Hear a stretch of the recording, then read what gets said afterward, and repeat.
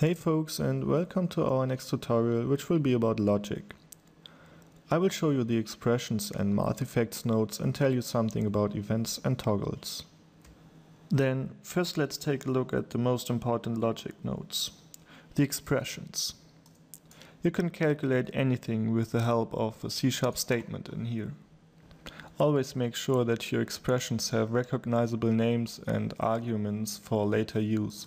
So for example, when you want to calculate the sine of a number, you will have to name the expression sine, click on edit custom model, delete those arguments that you don't need, and add a new one, which you will name with a significant name like angle. You can now input your expression which will be in our case math dot sine of angle. So when you now change the input, the result will be calculated automatically. You may use any method of the system namespace like math, converts or string operations. You may also use if expressions if you use their short form, like if a equals O, then B else C. The different types of expression nodes define their output. So always make sure that the result of your expression fits this type. If not, or you use an undeclared variable, the node becomes invalid and won't be revalidated. So when we enter an, a zero here, you get an expression error. So this red icon now means that this node won't be revalidated by Ventuz. To output a boolean, you can simply use a float expression that outputs O as false and 1 as true. So when we type something like this, and bind a boolean value to it, it will be converted automatically. There are several nodes that you can use instead of complicated expressions. For example, the invert node. It simply changes the sign of the input. So when you have an input like this, in this case it is 0.9, it will turn into minus 0.9. Instead, you can check the treat logical property and bind its input to a boolean. Another example is the clipping node. This node transfers the input from one range to another. Also, there are several string operators. They provide functions like trimming or calculating the length and so on. Now we come to the math effects nodes. These nodes generate values over time with different functions, but basically they all work the same way.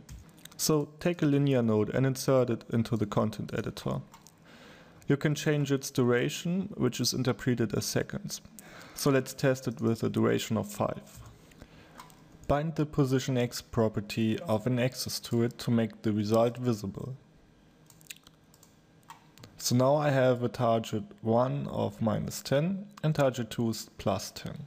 So when we now activate the use target 2 boolean, this node will generate values until it reaches the new target. When we deactivate this, the new target is the target 1 again. This way you can simply animate properties that should interpolate slowly when their values are changed dynamically. There are other functions, for example an oscillator. It creates values similar to a spring. Also there's something like a damper this one uses a function similar to the one of the sine or cosine. Lastly, let's talk about events in Ventuz. Events are fired by different nodes when specific conditions are met. For example, the math effects nodes fire an event called reached as soon as the wanted target is reached. You can bind this event to any method, for example to the nudge method of a mover. When you now uncheck this boolean again and the values reach the new target, which is in this case minus 10, the mover will nudge and create a value from 0 to 5 and then go back again from 5 to 0.